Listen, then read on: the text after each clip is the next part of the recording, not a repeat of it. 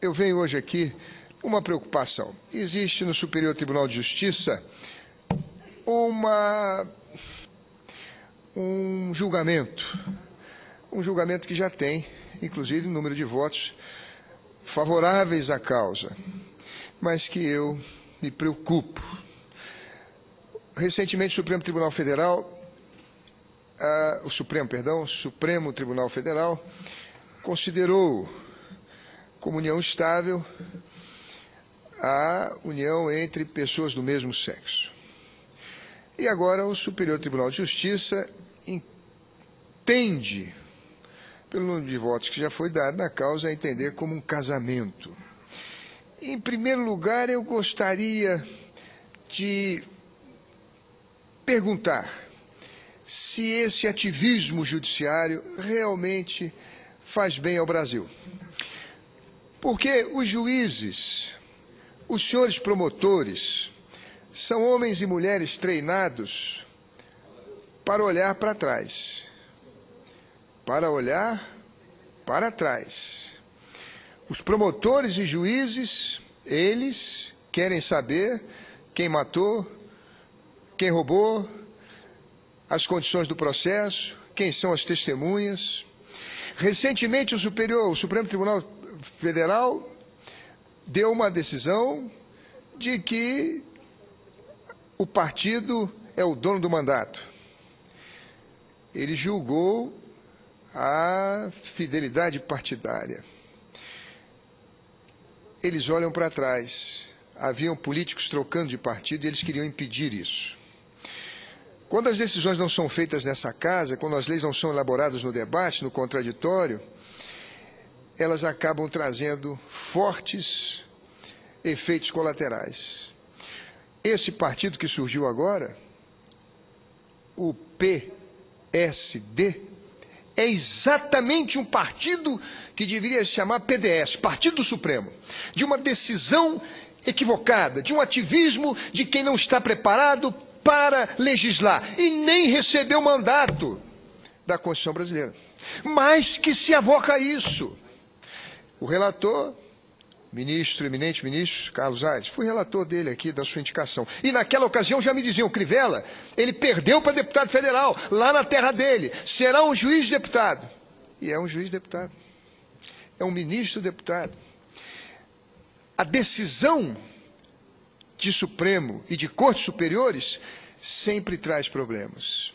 Queriam impedir que os parlamentares mudassem de partido. Está aí. Mudaram 50 de uma vez só, uma revoada. Por quê? São de esquerda, são de direita, são de centro? Não. São inconformados com uma decisão do Supremo que legisla e legisla mal.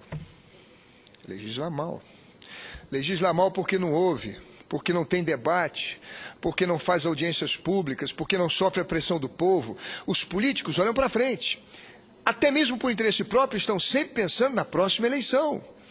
Eles dependem, eu diria, do, da sua ligação nessa democracia participativa que temos hoje no mundo digital dos seus eleitores. Portanto, fazem consultas via internet, via Twitter, via Facebook, via páginas sociais. Um ministro supremo não tem tempo para isso, nem idade. Mas querem decidir. Querem tomar as páginas de manchete. Montesquieu dizia que o judiciário era um poder sem voz. Nunca errou tanto nas suas predições. O judiciário é o poder do proscênio da ribalta é o poder que quer tomar decisões. Esse Congresso não consegue, democraticamente, encontrar uma fórmula para poder contemplar as aspirações daqueles que querem fazer o casamento homem com a mulher com mulher. Por quê? Porque aqui estão os católicos, aqui estão os evangélicos, aqui estão eh, pessoas que pensam diferente, aqui estão pessoas de todas as matizes. Isso aqui é uma imensa forja, isso aqui é um alto forno, é aqui que se retempera as essências mais puras da nossa nacionalidade, é aqui no debate, é aqui nessa casa, no dia a dia das nossas comissões, das nossas audiências. Mas eles não estão aqui, eles são acadêmicos são juristas. Eu lamento muito, senhor presidente. Eu lamento muito, o ativismo judiciário. O que ocorre é que, quando nós temos uma, uma união estável, entende-se, é uma coisa já concluída. São pessoas que estão vivendo juntas, já é algo concreto, e a justiça, portanto, não pode negar um fato concreto. É uma coisa que eu diria lembra a justiça inglesa. A justiça que vem dos costumes. Agora é diferente, senhor presidente. Um casamento. Senhor presidente, um casamento, ele é o começo e não o fim. A gente não olha para aquilo que ocorre, mas está olhando para aquilo que vai ocorrer.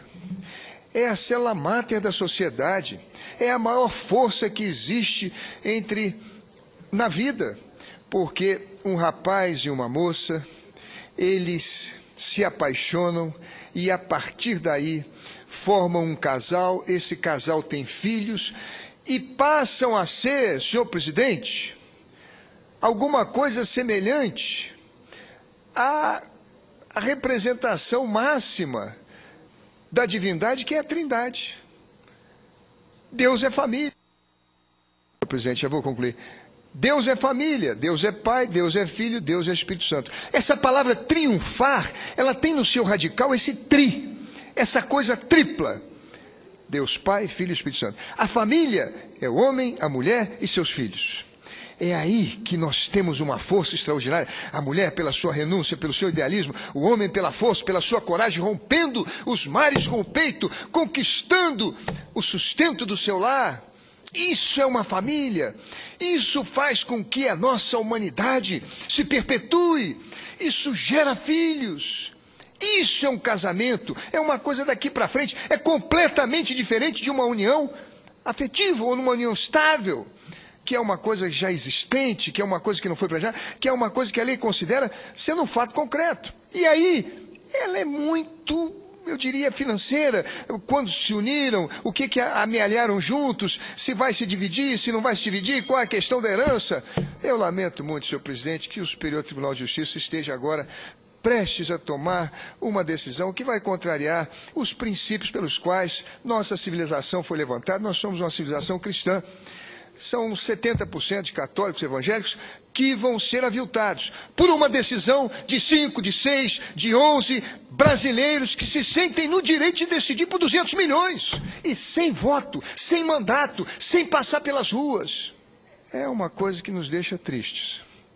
Mas Rui Barbosa dizia que é o grande arcópago, a panela de pressão que nos momentos de ebulição contém o ímpeto dos inconformados. Eu espero, senhor presidente, que prevaleça o bom senso e que o Superior Tribunal de Justiça respeite os limites da decisão do Supremo. Muito obrigado.